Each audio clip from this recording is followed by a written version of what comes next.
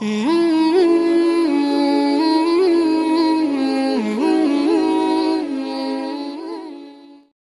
உலகத்தில் சில மனிதர்கள் உண்டு. அவர்கள் எப்படி ஒருவன் ஒருவன் ஒன்றை செய்தால் அதுக்கு நேராக செய்வான்.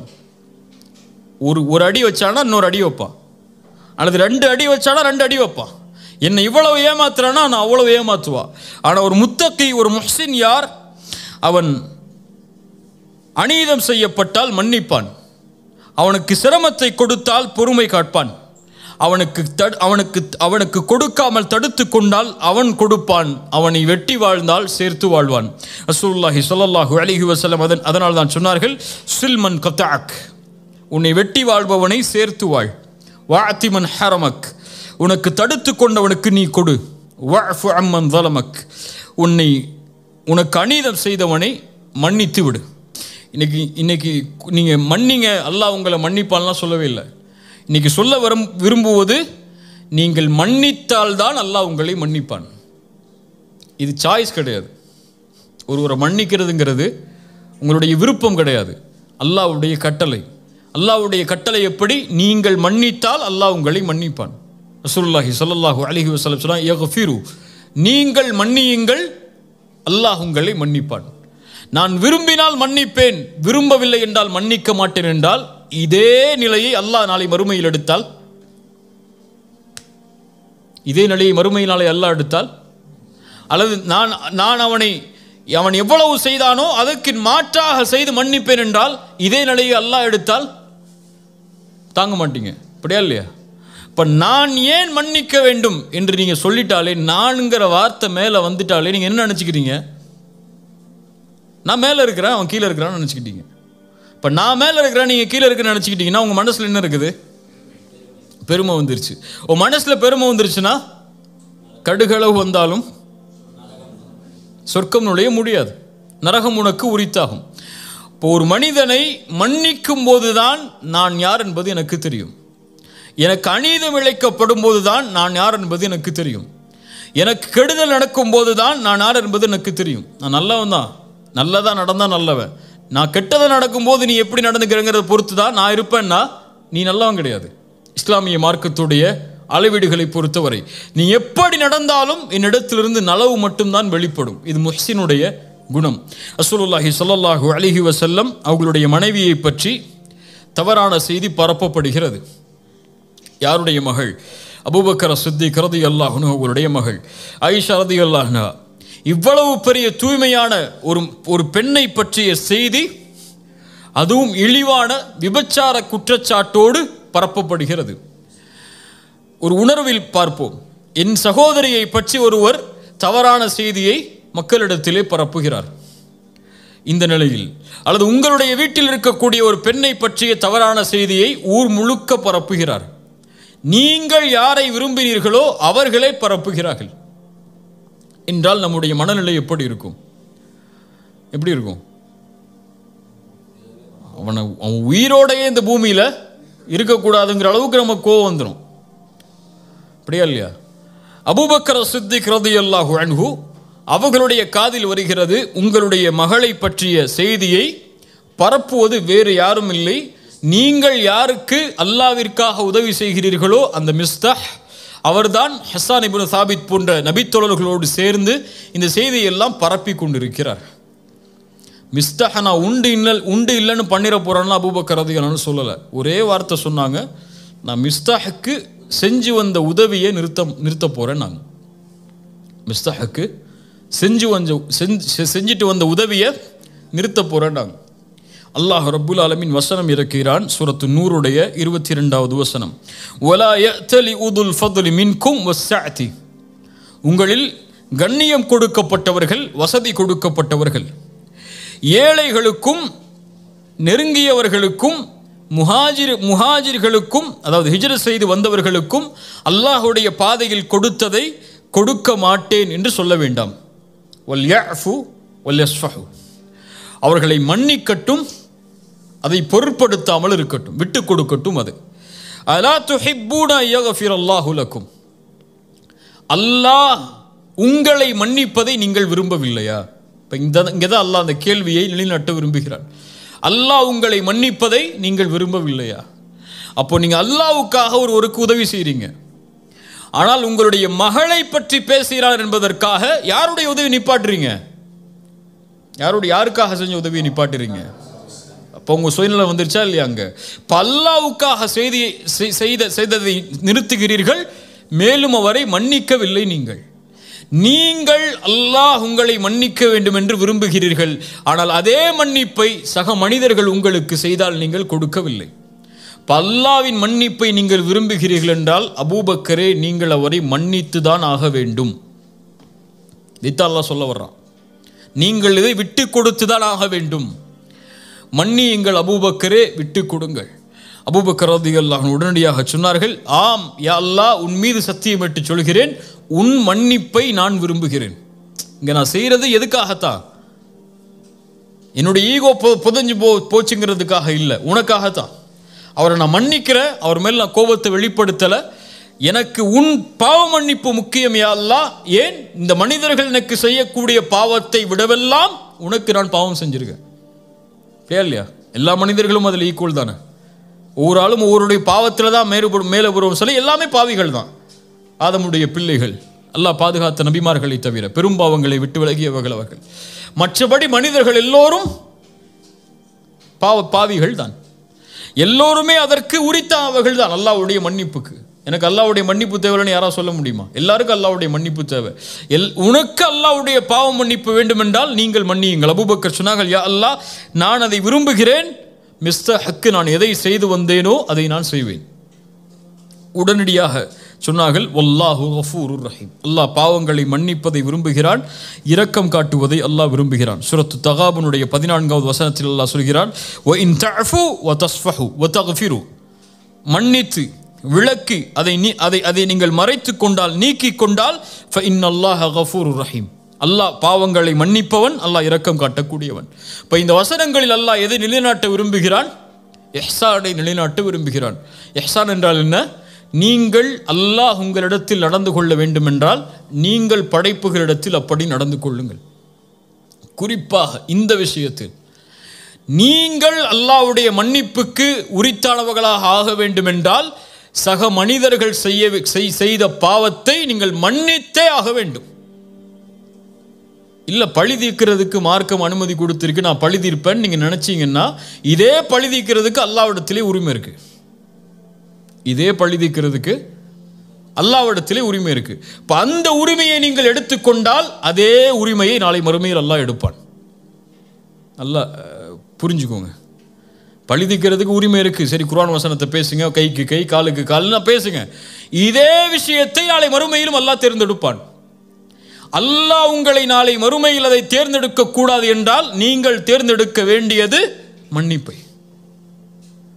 இன்னைக்கு சொந்த சகோதரன் சொந்த சகோதரன் தன்னோடு பிறந்து ஒரே வீட்டில் ஒரே ஒரே படுக்கை அறையில் படுத்து ஒரே ஒரே விதமான வளர்ப்பில் வளர்க்கப்பட்ட அத்துணை ஆண்டுகள் வளர்ந்த சகோதரர்கள் இன்று பேசுவதில்லை.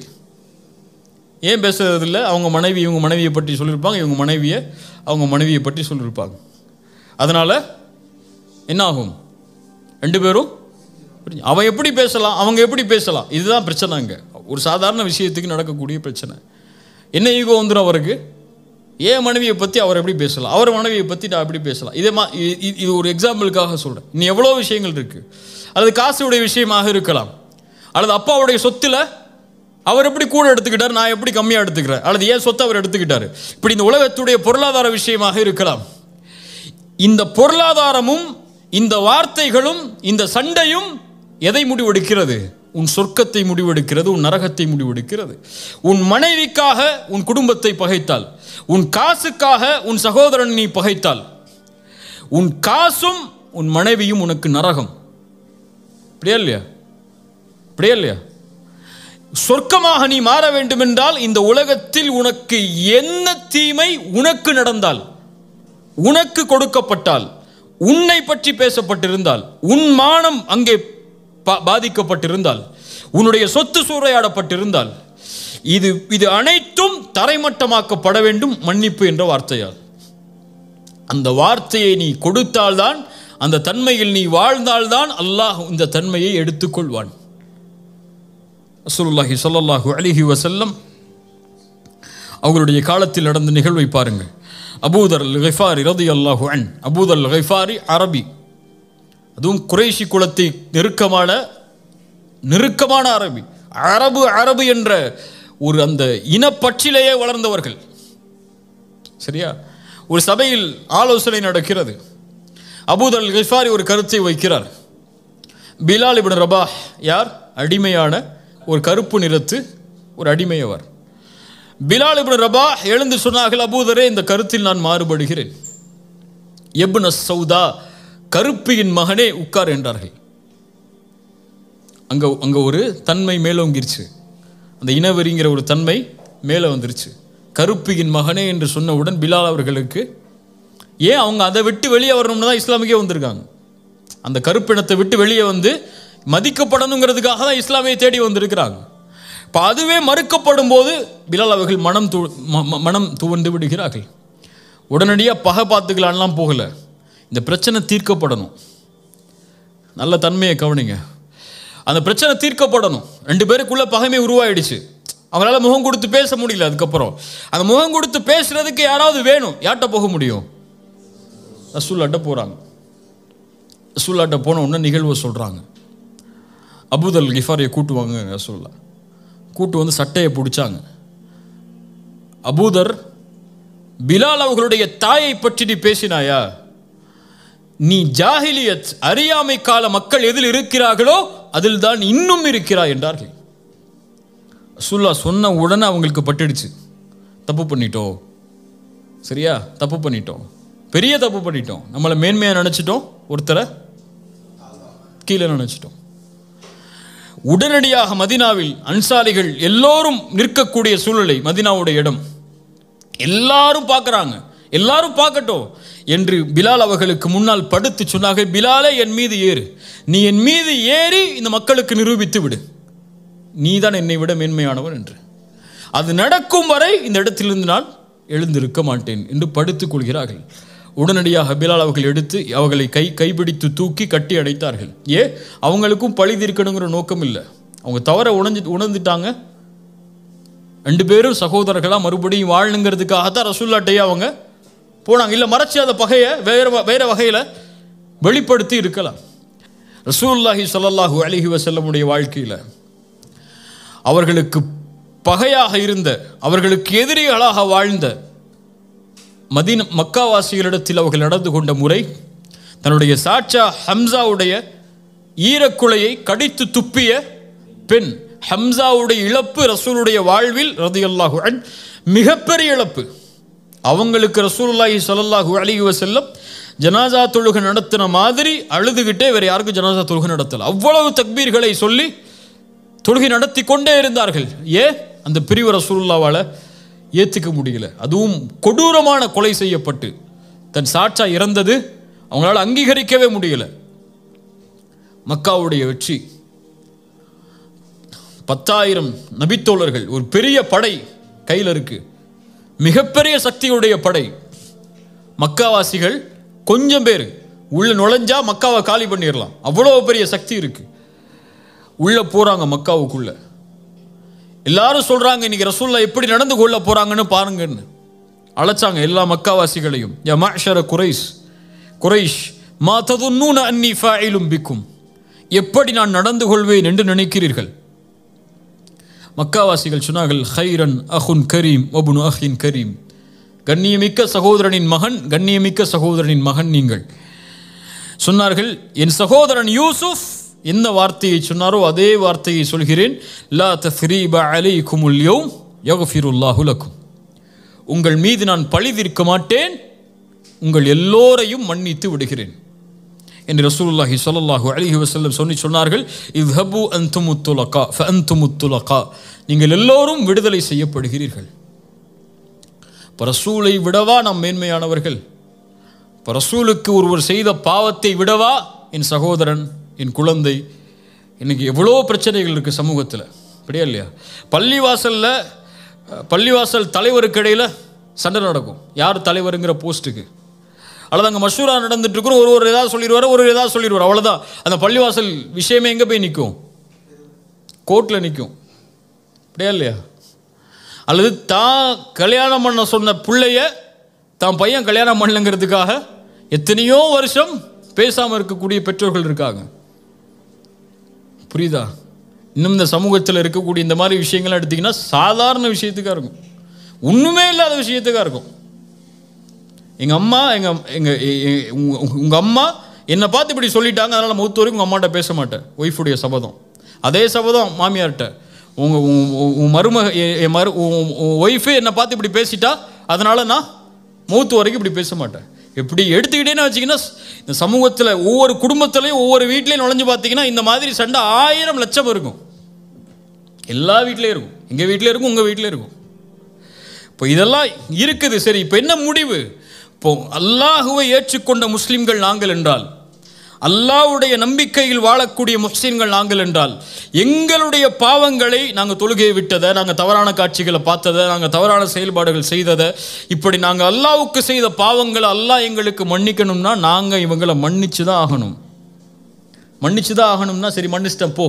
இனிமே என் கண்ணில் முழிக்காதுன்னு சொல்கிறது இல்லை அந்த மன்னிப்பு அங்கே சொல்லவே இல்லை. "வல் நாஸ்." அந்த உறவு கெட்டுவிட்டால் மன்னிப்பை வழங்கினால் அந்த உறவு சீர்படுத்தப்படும் அடுத்து. அந்த உறவு எப்படி முன்னால் இருந்ததோ அதை விட மேன்மையாக்கப்படும். இல்லை இல்லை அவர் செஞ்ச பாவம் பெரிய கோடிங்க. என் என் கோடியை கை வச்சிட்டாருங்க அவர். அல்லது என் சொத்துல கை வச்சிட்டாருங்க அவர். அவர் அவர் அவர் செஞ்ச பாவத்தை மன்னிக்கவே முடியாதுங்க. அப்படிங்கிற விஷயம்லாம் உலகத்தில் எதுவுமே கிடையாது.